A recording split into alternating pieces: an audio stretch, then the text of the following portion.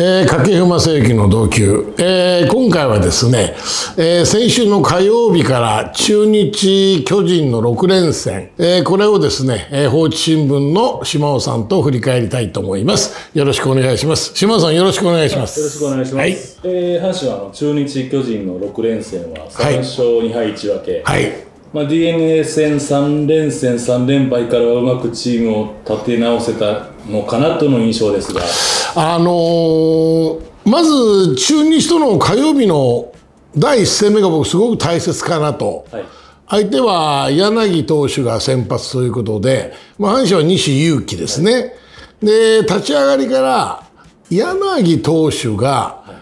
何かもっとそのバッターをかわすんではなくて攻めるリズムでピッチングしてくるのかなと思ったんですが阪神打線に対してかわそうかわそうとしてボールボールから入り自分のピッチングのリズムを苦しくして阪神の打線に有利なリズムを柳投手自身が作ってしまいしかも中日の内野陣の守りってのはちょっと今年あまりよろしくないですよね。そういう中で終わってみたら11対3ですかね確か。そうですねでこの会所の中に一つ僕大きなあのポイントといいますかね先発の西が自分なりにある程度のそのクオリティスタートではないんですけどゲームを壊さないピッチングをしようという気持ちが非常に強い中でバントを2回きっちり決めてるんだよね。だからピッチャーっていうのは投げるだけではなくて攻撃に移った9番バッターとして今の阪神の打線を考えると木浪近本をつなげるためのピッチャーのバントってすごく大切なんだなってのはこの中日の1戦目に感じましたね。なんかこう中日の、まあ、こんだけでは中日失礼なんですけど柳投手の自滅のような形の中で11対3で勝てたと。で僕は2戦目がポイントだと思ったの。WBC メンバーの高橋君が先発するということでかなり強いボールを持ってますからその高橋君に阪神打線が1戦目の勢いを持ってその戦っていける2戦目非常に注目したんですがやはりある程度ボールのキレのある速いボールを持ったピッチャーには阪神の打線ってちょっと脆さがあるのかなという感じがしましたね。まあ、柳のようにかわしてくれれば今年の阪神打線の見極めがね右で、まあ、ボール球選んでってなるんでしょうけどゾーンで勝負してちょっと攻め込まれるピッチャーに対してはちょっと弱さ脆さを感じるなっていうのは完全に鮮明なんですねそれとあの島本が、はい、えー、あれ何試合負けてなかったのか200試合ぐらいかな190ぐらいかな、まあ、かなり、あのー、勝ち負けがつかない負けを知らないんだよね、はいでその島本が初めてそのいっぱいするわけですけども、はい、あの岡林選手に打たれた、はい、あのボールってのは、はい、皆さん WBC の吉田正尚選手がメキシコ戦で打ったスリーランを思い出してもらいたいんですよ。あれも左ピッチャーの内に入ってくる、えー、スプリット的な、えー、ツーシーム的なボールでしたよね。これ島本があの場面で岡林君に外外とストレートを完璧に投げたの。はい、でツーストライクで追い込みながらバッターからすると一球インコースを見せて外で勝負だろうなっていう、頭の中で考えるんですよ。そのインコースを見せる球が中途半端な高さでちょっとシュート回転をして内に入ってくるんだよね。そうなると、もう吉田正尚選手がうまく打ったように、岡林君もちょっと体を泳ぎながら、内に入ってくるボールなので対応できるんだよね。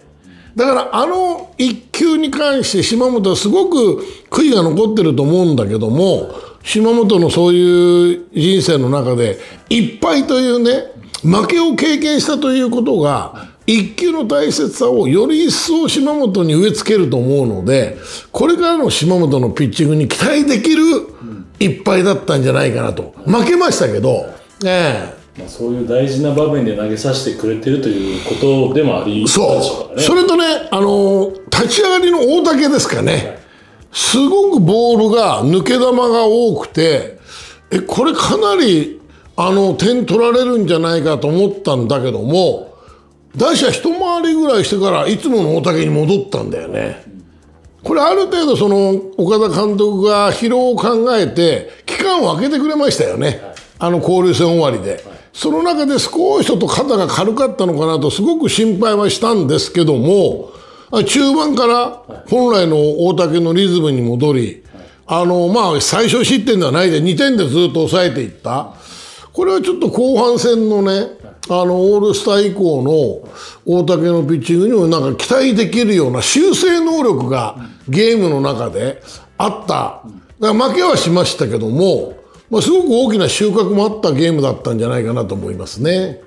まあ、その中で初戦、2戦目と前川が3安打、2安打で、うん、3戦目は、えー、松葉、左腕が先発だったんですけど、はい、スタメンで。これはね、あのー左投げ左打ちのバッターなんだけど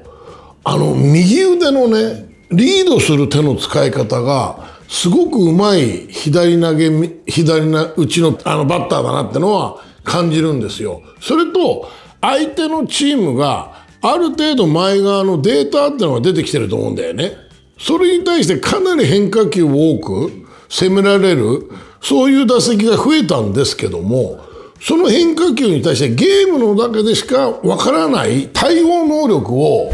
前側もつけているのであの左ピッチャーに対してもその使い続ける選手そういう感じがしたその松葉からのヒットを感じますけどね。まあ、3戦目はその前側のタイムリーもありまして、はいえー、8-0でこれもね、あのー、松葉投手に関してもそんな速いボールがないんだよね。それと、この3連戦、何回も言いますけども、中日の内野陣のね、やっぱり守りのミスが多すぎましたよ。あれだけやっぱり内野陣の守りのミスが出れば、やっぱピッチャー耐えられないんだと思うんだよね。うん。でそういう意味では、あの、2勝1敗という形で阪神終わりましたけども、その3連戦、この中日の3連戦終わって、阪神のチーム状態は、じゃあ、どうなんだって考えた時に僕はまだまだその開幕当初のいい状態ではちょっとないなという感じはしますけどね。うん。まあ、そのまま東京ドームに乗り込みまして、はい、えー、初戦は1対2と、まあ、はい、延長10回岸田のサヨナラホームランで負けちゃったんですけれども、ね、これもねやっぱりその、まあ、巨人の、まあ、今年もうエースですよね、はい、戸郷投手が初戦に投げてくると。あれ青森でしたかね。雨で流して、はい、一発飛んで阪神の頭に来た。かなり品種感覚が空いてたので、はい、立ち上がりの東郷君をちょっと心配してたんですけども案の定球数30以上超えて1イニング終えるわけですけども僕はもうちょっとねその3回までに阪神の打線はなんか東郷君をもうちょっと苦しめることが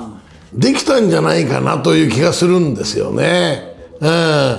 終わってみると150球近い球数を投げてゲームを作ったわけでしょ。だこれもね相手の戸郷君のやっぱ成長というものを感じる第一戦のゲームだったのかなという感じがしますね。えー、初戦は2対1で負けました。だから1対1追いついてねあのなんか後半は阪神の流れないような気がしたんだよね。だここで戸郷君は勝ち負けはつきませんでしたけどもなんかその後半の流れを考えるとこの一敗っていうのが後に響かなければいいかなという感じがしましたね。で次の2戦目は、えー、巨人キラーの伊藤が、はい。えー、7回無失点で巨人戦5戦 5, 5連勝ですね。5連勝でしょほぼ完璧なピッチングをしましたね、はい、やっぱりね伊藤正史のいい時ってのは右バッターのインコースの高めにやっぱストレート投げ込めるんだよね。そのインコースのストレートを投げ込めることによって外を逃げていくチェンジアップ系のボールがすごく有効に使える。だから彼自身のその巨人戦2戦目のピッチングのその形っていうのは攻めるという気持ちを最後まで持ち続けて右バッターのインコースに強いボールを投げることができたっていうことがあの勝因につながったのかなという感じがしますね。でこういうゲームの流れの中でその相手の菅野君という、まあ、これも巨人が逆転優勝するために大きな鍵を握るピッチャーですよね。もう全盛期の菅野君のピッチングの形とは全然違うんだけども菅野投手もやっぱり伊藤投手と同じようにいろいろなボールを駆使しながらゲームを作っていきましたけども気持ちの中で相手を攻めるという気持ちは菅野投手も忘れてませんでしたね。その中で4番の大山の一発で先制したってのは大きかったんじゃない？そうです、ね、うん。まあ、そのいい流れで迎えた3戦目ですが、えー、結果的には2対2で延長12回引き分け。うんこれはね、あのー、最初のブリンソンでしたっけ、はい、に対しての佐伯の初球をライトスタンドにホームランされるんだけどもちょっとね前回の登板ぐらいから佐伯のストレートにキレ、うん、スピードというものがちょっと落ちてるのかなと。うんまあ、2本のホームランを打たれるわけだけども秋広君に打たれた真ん中ややアウトコース寄りの高めのストレートもねいい時の佐伯であればこの2本のホームラン僕ファールになってたと思うんだよね。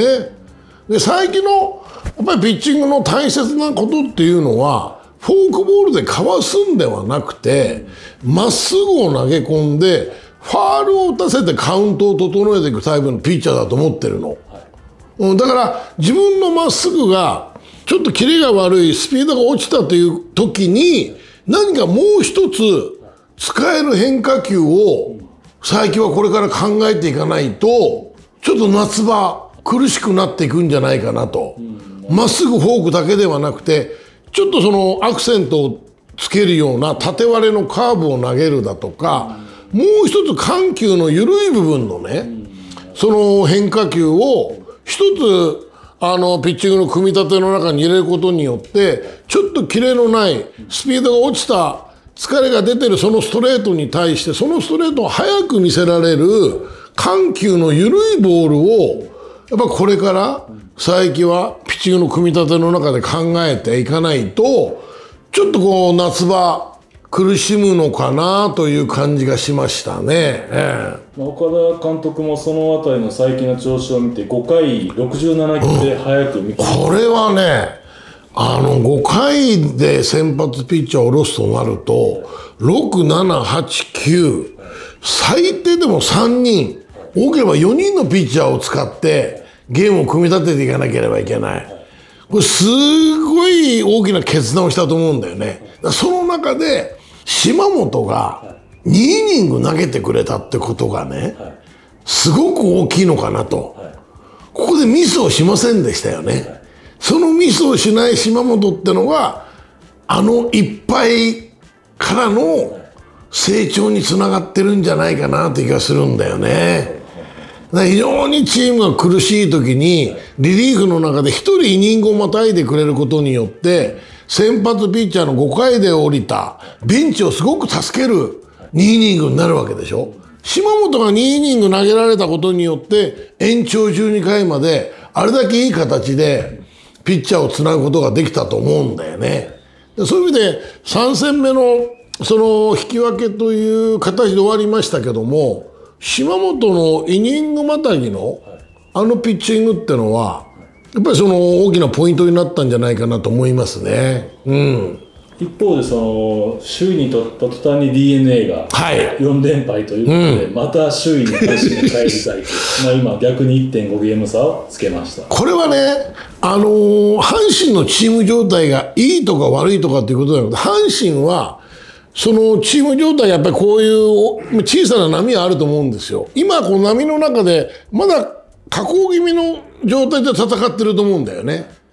その中で d n a の方がやっぱりちょっと宮崎君がスタメンから外れたりだとかまた桑原君が怪我をまたしたりだとかちょっとチームのバランスが崩れてきてるでしょ。その辺りで広島の頑張りでねこの広島に3立てを食らってしまったと。この部分は阪神の状態がうんぬんという d n a のチームバランスがちょっと崩れたんじゃないかなそれとすごく d n a で心配なのはあのランダムプレーといいますかねランナーを挟んでそのオールセーフにしてバウアーが激怒してましたよね。ねこの辺りピッチングコーチ監督を含めてね首脳陣がどういう形の中で収めたかですよね。じゃないと次のバウアーが投げる時にそのチームが一つになって戦う形ってちょっと見えなくなってくるんですよ。あれだけ激しい感情を分かるんですよピッチャーとして分かるんだけどあれだけの感情を出し出してしまうと野手たちってなんだってなミスしてる野手が一番分かるんだよね。えー、だからあそこで感情を表に出すそのバウアーに対してどういう形でチームが収めたかということでこれはね横浜と阪神のその当然優勝争いしていくと思うんだけどこれ次のバウアーの登板でポイントになると思うよ。まあ、逆にその広島がその3連勝去年にしまして、はい、現在首位阪神まで3.5ゲーム差。そうでしょう。これ広島もね、はい、なかなか怖いのは、はい、先発ピッチャーの名前が4枚ぐらい上がるようになったってことだよね。そうですね、え大瀬良、森下床田栗、この4枚の名前がきちっともう言える。だからある程度そのリリーフ陣の栗林君あたりがだんだん後ろのいいとこで投げれるようになってきてますけどもどの辺りで栗林君が抑えという形の中でね広島の勝つそのゲームを終わらせる最後の3つのアウトを取れるピッチャーが栗林君になった時にちょっと広島の打線も侮れないでしょう。秋山西川板倉。うん坂倉。坂倉。クリーンアップつながりが、えー、坂倉選手の状態も上がってきてるし今4番の西川選手がすごくハマってるでしょう、ね、だから長打力でその相手のリズムを崩すというよりもつながりでつ相手のあのなんていうの野球崩すような打線だよね。そういう意味では広島の打線の方が軽くて機動力があるんだよね。うん、そういう意味ではあの打線のね波が僕は一番小さいのは広島なんじゃないかなと思うの。かなりね実績のあるバッターがいるんだよね。秋山坂倉西川。このね一番であ菊池、はい。この辺りっていうのはある程度の経験と実績を持った選手がその9人の先発メンバーの中にいるので一番打線の波が少ないのは広島なんじゃないかなと。ある程度先発ピッチャーがゲームクオリティスタートというような形を作れればね、十分優勝争い。もうもう実際に食い込んできてるけどもちょっとその開幕当初評価が僕広島低かったんですけど、はい、ここに来てチームの形が見えてきましたね。中継ぎでもターリーがねあの左のねこれがもう非常にいい仕事してるしちょっと本当にね先発まあ中継ぎと中抑えだよね、はい、中抑え。で最後のゲームを終わらせるピッチャーが誰になるのかというここがきちっと決まってくれば、はい、もう広島ってのは、うんちょっと夏場オールスター以降ですね、はい、ちょっと怖い阪神にとって存在になるのかなと。そういう意味で明日からですよね。今日月曜日なんですけど、はい、松田3連戦でしょ？そうですね。で床田森下の。そうですね。順番から言うとそうですね。で最後が去年この選手の野村でしたよね、でこのローテで3戦来ると思うので、はい、初戦の床田投手、左、ピッチャーに対して阪神打線がどういう打線を組んで戦っていくのかっていうのがポイントになると思う。で前側を使うのか使わないのかもすごく興味があるし、巨人の外国人の左の時は前側外してたからね。そういう意味では1戦目の床田投手に対して阪神打線がどういう打線を組んで戦っていくのかちょっと注目したいですね。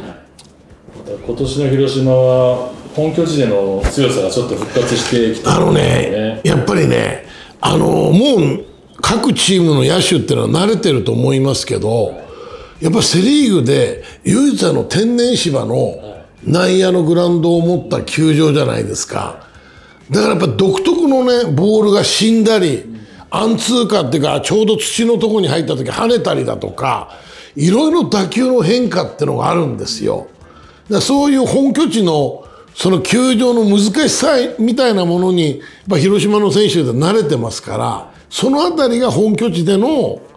やっぱ広島の強さにつながっているのかなと。だから阪神からすると、僕は打つことも大切だと思うんだけどもね、守り負けないことを考えた3連戦にしなきゃいけないんじゃないかなと思いますね。その広島戦が終われば金曜日からヤクルトと本拠地3連戦ですね、はい、で甲子園でヤクルト、まあ、ヤクルトのちょっと村上君あたりもあの状態が上がってきたような感じに見えますけどもまだまだ本来のヤクルトの形じゃないでしょう、まあ、注目が青柳が日曜日に先発であこの方決まってんの？はい。あの昨日ウエスタンの方でいいピッチングしまして。はい、はい。あオールスター前に青柳が上がってくるんであれば。岡田監督が再起は1回飛ばしてもいいんじゃないかみたいなことを示唆してああやっぱこの間の昨日の、はい、その内容なんだね。おそらく、えー、日曜日。なるほど。これもちょっと楽しみだね。そうですね。じゃあそうなると阪神にとってあと一人問題児となってくると、佐藤が、ね、どの段階で僕は青柳はあのオールスター明けに上げてくるのかなと思ったんだけどもやっぱり状態がじゃかなりそうですね。国会を2安打無失点。ああなるほど。で広島に対して青柳って相性もいいでしょそうですね。ね。ヤクルトですね青柳は。あヤクルトヤクルトに対して相性いいもんね、はい、そうかそうなると山田選手あたり外す可能性もあるんだもんね。そうですね。うんちょっと青柳のちょっとピッチングはここでもしも青柳が一つ勝てるような結果が出ればこれローテーションかなり楽になるでしょそうですね誰か疲れた時に一人休ませられるもんねそういう意味ではオールスター前に青柳が上がってくるっていうのは岡田監督にとってちょっと後半戦戦う上でちょっと大きな戦力が1枚戻ってくるという感じだよね。まあその後一人はその先ほどお話にも出ましたが佐藤佐藤ですね。やっぱりなんか代打でもいるとね東京ドームの試合とかでそう。怖がるのかな。あのやっぱり一発の魅力のあるバッターがこう打線にいた方が相手のピッチャーに対するそのプレッシャーっていうのはかなり大きいものが佐藤にあると思うので、まあ、どういう段階でどう判断をして佐藤を上げるか分かりませんけども僕はなるべく早くあの上げるべきなんじゃないかなと。さもなければあの佐藤自身がもう一度自分自身の野球を自分でそのキャンプではないけども追い込むぐらいの形でオールスター後に照準を合わせて自分の野球というものを追い込んで作っていくかこれどちらかでしょうね。だこれ岡田監督がどう判断するかだと思うんだけどもただ打線に佐藤がいた方が確かに相手のチームピッチャーは嫌だと思いますね。えーまあ、阪神打線はちょっと今打線がね固まりきらないので、まあ、外人にしてもノイジーとミエセスの併用でまあ、ノイジーもちょっと上がってきたのかなと思ったら3番復帰すれば4タコ、えー、まだねやっぱりあのインコース高めのストレートに対しての対応というか見極めがまあできないということとここに来てちょっとね大山巨人戦でもホームラン打ちましたけども大山の状態もちょっと落ちてるんだよね。これがちょっと気になりますね。えーとなればやっぱり佐藤輝が。佐藤がだからちょっと僕ねあのー、これから阪神がその、まあ、いわゆる優勝ということを考えた時にやっぱ大きな鍵を握るのは、まあ、青柳であり佐藤だと思うんだよね。でその1枚のカードがこの日曜日に戻ってくるんであればもう1枚の優勝するためのカードを岡田監督がいつ戻すかですよ。ええ、これはちょっと注目したいですね。はい